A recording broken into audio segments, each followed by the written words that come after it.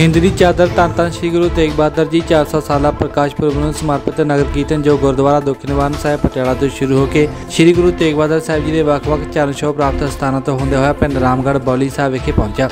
ਨਗਰ ਕੀਰਤਨ ਨੂੰ ਲੈ ਕੇ ਸਿੱਖ ਸੰਗਤਾਂ ਵਿੱਚ ਭਾਰੀ ਉਤਸ਼ਾਹ ਦੇਖਣ ਨੂੰ ਮਿਲਿਆ। ਸੰਗਤਾਂ ਨੇ ਥਾਂ-ਥਾਂ ਤੇ ਨਗਰ ਕੀਰਤਨ ਦਾ ਸਵਾਗਤ ਕੀਤਾ ਅਤੇ ਗੁਰੂ ਕੇ ਲੰਗਰ ਅਤੁੱਟ ਵਰਤਾਏ ਗਏ। ਇਸ ਮੌਕੇ ਸ਼੍ਰੋਮਣੀ ਕਮੇਟੀ ਦੇ ਐਗਜ਼ੈਕਟਿਵ ਮੈਂਬਰ ਸਤਵਿੰਦਰ ਸਿੰਘ ਟੌੜਾ ਅਤੇ ਸ਼੍ਰੋਮਣੀ ਕਮੇਟੀ ਮੈਂਬਰ ਬੀਬੀ ਕੁਲਦੀਪ ਕੌਰ ਟੌੜਾ ਨੇ ਸੰਗਤਾਂ ਨੂੰ ਨਗਰ ਕੀਰਤਨ ਦਾ ਵੱਧ ਤੋਂ ਵੱਧ ਲਾਹਾ ਲੈਣ ਦੀ ਅਪੀਲ ਕੀਤੀ। ਵਾਹਿਗੁਰੂ ਜੀ ਕਾ ਖਾਲਸਾ ਵਾਹਿਗੁਰੂ ਜੀ ਕੀ ਫਤਿਹ। ਤੇਗ ਬਹਾਦਰ ਸਿਮਰਿਆ ਘਰ ਨੂੰ ਦੇ ਆਵੈ ਧਾਏ ਸਭ ਥਾਈ ਹੋਏ ਸਹਾਏ। ਧੰਨ ਸ੍ਰੀ ਗੁਰੂ ਤੇਗ ਬਹਾਦਰ ਸਾਹਿਬ ਸੱਚੇ ਪਾਤਸ਼ਾਹ ਜੀ ਦੇ ਪਾਵਨ ਪਵਿੱਤਰ 400 ਸਾਲਾ ਪ੍ਰਕਾਸ਼ ਉਤਸਵ ਦੇ ਸਬੰਧ ਵਿੱਚ ਜੋ 1 ਮਈ ਨੂੰ ਆਉਣ ਵਾਲੇ ਸਮੇਂ ਦੇ ਵਿੱਚ ਸਮੁੱਚੇ ਪੰਥ ਨੇ ਜਿੱਥੇ ਜਿੱਥੇ ਵੀ ਗੁਰੂ ਨਾਨਕ ਨਾਮ ਲੇਵਾ ਸਿੱਖ ਬੈਠੇ ਨੇ ਮਨਾਉਣਾ ਹੈ, ਉਸ ਸਬੰਧ ਵਿੱਚ ਪਟਿਆਲੇ ਜ਼ਿਲ੍ਹੇ ਦੀਆਂ ਸੰਗਤਾਂ ਵੱਲੋਂ ਸ਼੍ਰੋਮਣੀ ਗੁਰਦੁਆਰਾ ਪ੍ਰਬੰਧਕ ਕਮੇਟੀ ਵੱਲੋਂ ਸਮੂਹ ਸੰਗਤਾਂ ਦੇ ਸਹਿਯੋਗ ਨਾਲ ਇਹ ਵਿਸ਼ੇਸ਼ ਨਗਰ ਕੀਰਤਨ ਨੌਵੇਂ ਪਾਤਸ਼ਾਹ ਜੀ ਦੇ ਪਾਵਨ ਪਵਿੱਤਰ ਇਤਿਹਾਸਕ ਸਥਾਨ ਜੋ ਪਟਿਆਲੇ ਜ਼ਿਲ੍ਹੇ ਵਿੱਚ ਸੁਭਾਏਮਾਨ ਹਨ, ਉਹਨਾਂ ਸਥਾਨਾਂ ਦੇ ਦਰਸ਼ਨ ਦਿਦਾਰੇ ਨਗਰ ਕੀਰਤਨ ਕੱਲ ਤੋਂ ਪ੍ਰਾਰੰਭ ਹੋਏ ਸਨ, ਜਿਨ੍ਹਾਂ ਦਾ ਰਾਤ ਪੜਾ ਗੁਰਦੁਆਰਾ ਰਾਮਗੜ੍ਹ ਬੌੜਾ ਵਿਖੇ ਮਹਾਰਾਜ ਨੌਵੇਂ ਪਾਤਸ਼ਾਹ ਜੀ ਦੇ ਸਥਾਨ ਤੇ ਹੋਇਆ ਹੈ। ਅੱਜ ਇੱਥੋਂ ਅਰਦਾਸੇ ਹੋ ਗਏ ਨੇ।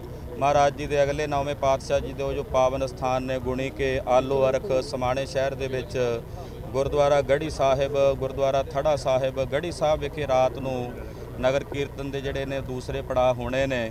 ਸਾਰੀਆਂ ਸੰਗਤਾਂ ਦਾ ਬਹੁਤ-ਬਹੁਤ ਧੰਨਵਾਦ ਹੈ, ਜਿਹੜੀਆਂ ਸੰਗਤਾਂ ਸਹਿਯੋਗ ਕਰ ਰਹੀਆਂ ਹਨ। ਔਰ ਸੰਗਤ ਵਿੱਚ ਬੜਾ ਵੱਡਾ ਭਾਰੀ ਉਤਸ਼ਾਹ ਸੀ ਜਿਹੜਾ ਕੱਲ ਵੇਖਣ ਵਿੱਚ ਸਾਨੂੰ ਪ੍ਰਾਪਤ ਹੋਇਆ ਹੈ। ਅਸੀਂ ਨਗਰ ਕੀਰਤਨ ਜੋ ਗੁਰਦੁਆਰਾ ਦੁੱਖ ਨਿਵਾਰਨ ਸਾਹਿਬ ਤੋਂ ਪ੍ਰਾਰੰਭ ਕੀਤਾ ਸੀ, ਅਰਦਾਸਾ ਕਰਕੇ ਤਕਰੀਬਨ ਸਵੇਰੇ 9-10 ਵਜੇ, ਰਾਤ 2:30 ਵੱਜ ਗਏ ਸਨ, ਇਸ ਪਾਵਨ ਸਥਾਨ ਤੇ ਨਗਰ ਕੀਰਤਨ ਪਹੁੰਚਦਿਆਂ ਹਾਲਾਂਕਿ ਸਮਾਂ ਜਿਹੜਾ ਸੀ ਉਹ ਤਕਰੀਬਨ 9 ਜਾਂ 10 ਦਾ ਅੰਦਾਜ਼ਾ ਲਾਇਆ ਗਿਆ ਸੀ, ਪਰ ਸੰਗਤ ਦਾ ਇੰਨਾ ਵੱਡਾ ਉਤਸ਼ਾਹ ਸੀ ਰਸਤੇ ਦੇ ਵਿੱਚ, ਅਗੋਲ ਪਿੰਡ ਰੋਟਾ ਸਾਹਿਬ, ਤਗੇੜਾ ਸਾਹਿਬ, ਲੰਗ, ਜੋ ਨੌਵੇਂ ਪਾਤਸ਼ਾਹ ਜੀ ਦੇ ਪਾਵਨ ਸਥਾਨ ਨੇ, ਸਿੰਬੜੋ, ਉਹਨਾਂ ਸਥਾਨਾਂ ਦੇ ਉੱਤੇ ਬਹੁਤ ਜ਼ਿਆਦਾ ਸੰਗਤ ਵਿੱਚ ਉਤਸ਼ਾਹ ਸੀ।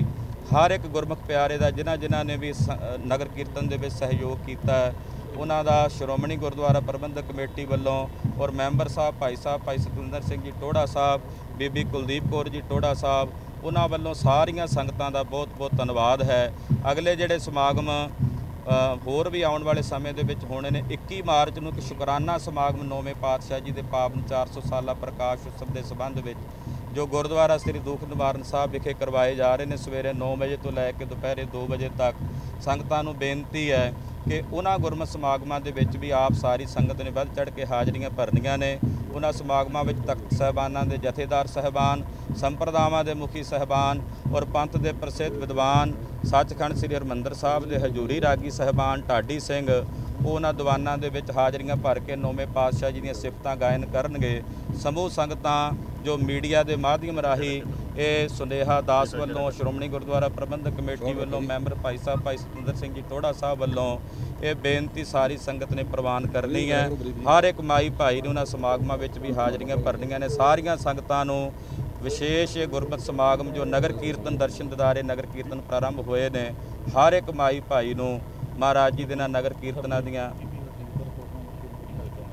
ਬੀਬੀ ਹਰਦੀਪ ਕੌਰ ਜੀ ਜੋ ਖੋਖ ਜੋ ਇਸ ਇਲਾਕੇ ਦੇ ਸ਼੍ਰੋਮਣੀ ਗੁਰਦੁਆਰਾ ਪ੍ਰਬੰਧਕ ਕਮੇਟੀ ਦੇ ਮੈਂਬਰ ਸਹਿਬਾਨ ਨੇ ਉਹ ਵੀ ਉਚੇਚੇ ਤੌਰ ਤੇ ਹਾਜ਼ਰੀਆਂ ਭਰ ਰਹੇ ਨੇ। ਉਹਨਾਂ ਵੱਲੋਂ ਵੀ ਸਾਰੀਆਂ ਸੰਗਤਾਂ ਦਾ ਧੰਨਵਾਦ। ਵਾਹਿਗੁਰੂ ਜੀ ਕਾ ਖਾਲਸਾ। ਵਾਹਿਗੁਰੂ ਜੀ ਕੀ ਫਤਿਹ। ਇੱਕੋ ਮਿੰਟ ਲਾਏ ਬਸ ਧਰਮ ਦੀ ਚਾਦਰ ਤਿਆਗ ਦੀ ਮੂਰਤ ਧੰਨ ਸ਼੍ਰੀ ਗੁਰੂ ਤੇਗ ਬਹਾਦਰ ਸਾਹਿਬ ਸੱਚੇ ਪਾਤਸ਼ਾਹ ਦੇ 400 ਸਾਲਾ ਪ੍ਰਕਾਸ਼ ਪੁਰਬ ਸ਼ਮਾ- ਸ਼ਤਾਬਦੀ ਨੂੰ ਸਮਰਪਿਤ ਇਹ ਦਰਸ਼ਨ ਦਿਦਾਰੇ ਨਗਰ ਕੀਰਤਨ ਜੋ ਰਾਤੀ ਰਾਮਗੜ੍ਹ ਬੌੜਾਂ ਵਿਖੇ ਪੜਾ ਕੀਤੇ ਸਨ।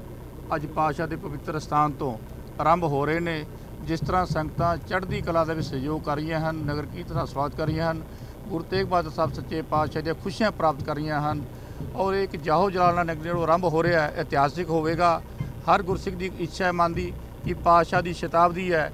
ਮੈਂ ਜ਼ਿੰਦਗੀ ਵਿੱਚ ਇਤਿਹਾਸਕ ਦਿਨ ਹੋਵੇ ਮੇਰੇ ਲਈ ਤੇ ਮੈਂ ਵੱਧ ਤੋਂ ਵੱਧ ਸਹਿਯੋਗ ਕਰਾਂ। ਸਮੁੱਚੀਆਂ ਸੰਗਤਾਂ ਤੋਂ ਬਹੁਤ ਵੱਡਾ ਭਰਪੂਰ ਸਹਿਯੋਗ ਮਿਲਦਾ, ਅਸੀਸ ਮਿਲਦੀ ਹੈ। ਸਭਨਾਂ ਦਾ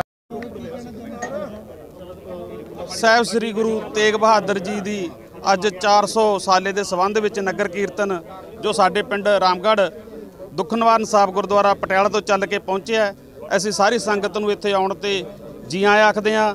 ਅਸੀਂ ਬਹੁਤ ਹੀ ਭਾਗਾਂ ਵਾਲੇ ਹਾਂ ਕਿ ਸ੍ਰੀ ਗੁਰੂ ਤੇਗ ਬਹਾਦਰ ਜੀ ਸਾਡੇ ਇਸ ਨਗਰ ਦੇ ਵਿੱਚ ਆ ਕੇ ਇੱਕ ਰਾਤ ਇੱਥੇ ਰਹੇ, ਕੀਰਤਨ ਹੋਇਆ, ਉਹਨਾਂ ਦੇ ਨਾਲ ਭਾਰੀ ਸੰਗਤ ਸੀ। ਅੱਜ ਅਸੀਂ ਉਸੇ ਤਰ੍ਹਾਂ ਮਹਿਸੂਸ ਕਰਦੇ ਹਾਂ ਇਸ ਭਾਰੀ ਸੰਗਤ ਨੂੰ ਦੇਖ ਕੇ ਕਿ ਸਾਡਾ ਜੀਵਨ ਹੈ ਜਿਹੜਾ ਉਹ ਬੜਾ ਸਫਲ ਹੋ ਗਿਆ ਕਿ ਸਾਨੂੰ ਵੀ ਇਹ ਨਗਰ ਕੀਰਤਨ ਦੇਖਣ ਦਾ ਮੌਕਾ ਮਿਲਿਆ। ਸੋ ਅਸੀਂ ਸਾਰੀ ਸੰਗਤ ਦਾ ਜਿੱਥੇ ਧੰਨਵਾਦ ਕਰਦੇ ਹਾਂ ਔਰ ਇਸ ਲਈ ਵੀ ਬਹੁਤ ਖੁਸ਼ੀ ਮਹਿਸੂਸ ਕਰਦੇ ਹਾਂ ਕਿ ਇਹਨਾਂ ਨਗਰ ਕੀਰਤਨਾਂ ਨੂੰ ਦੇਖ ਕੇ ਸਾਡੀ ਨੌਜਵਾਨ ਪੀੜ੍ਹੀ ਜਿਹੜੀ ਇਹ ਨਸ਼ਿਆਂ ਤੋਂ ਦੂਰ ਹੋਊਗੀ ਔਰ ਆਵਾਜ਼ ਕਮ ਟੀਵੀ ਲਈ ਨਾਭਾ ਤੋਂ ਪੱਤਰਕਾਰ ਚੇਤਨ ਮਹਿਤਾ ਦੀ ਰਿਪੋਰਟ।